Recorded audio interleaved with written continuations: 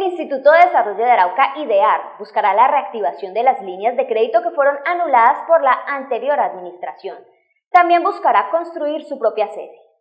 La gerente actual del Instituto de Desarrollo de Arauca, IDEAR, confirmó que la anterior administración sí gastó 180 millones de pesos de viáticos buscando un operador para la entidad. En el debate en la Asamblea Departamental se demostró la realidad del instituto. Es una realidad, eh, sabemos que en el 2017 a raíz del decreto ordenanzal 723,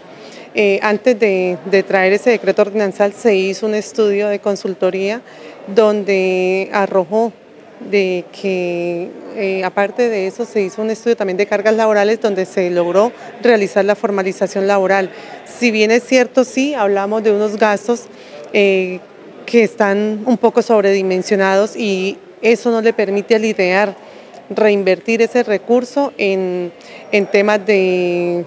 inversión en las líneas de crédito. Eh,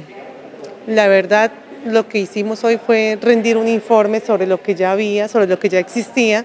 y mostrar la realidad del IDEAR. Yo solo eh, nos queda como la experiencia de decir, eh, mirar cuáles son las falencias que se han venido presentando y qué acciones vamos a tomar nosotros para eh, no incurrir en las mismas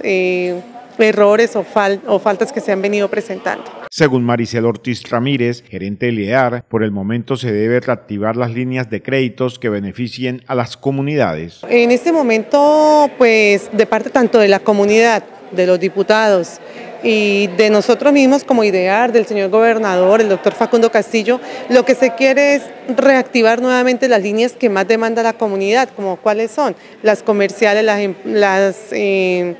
las agropecuarias, las de vivienda, que es el crédito que le llega de forma individual a cada una de las personas, obviamente con el cumplimiento de los requisitos. Eh, les manifestaba dentro del informe que una de las falencias que tiene el IDEAR es la cartera tan alta que, que se pudo eh, evidenciar dentro de este debate y que nuestra tarea está no tanto en centrarnos en mirar qué hay o qué se hizo mal, sino cómo vamos nosotros a recuperar eh, eh, todo este recurso que se ha colocado y que no se ha podido recaudar. Entonces nuestros esfuerzos están concentrados en el recaudo a través de los abogados externos que tiene el IDEAR y a través también de las estrategias que nosotros al interior de la entidad, con el equipo profesional que tiene el IDEAR, vamos a eh, se está, porque ya iniciamos,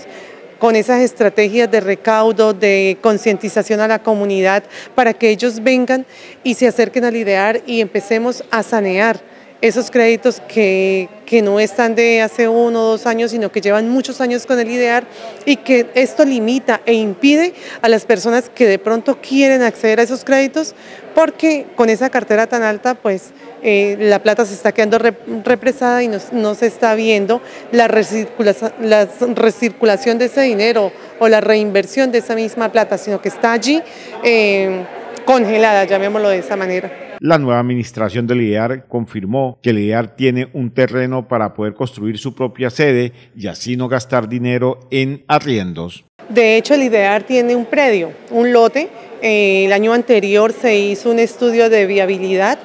eh,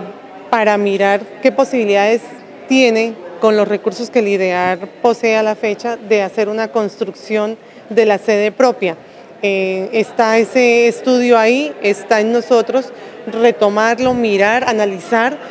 eh, verificar si es viable o no es viable, si se cuenta o no con los recursos o se puede hacer una construcción por fases. La idea es que nosotros empecemos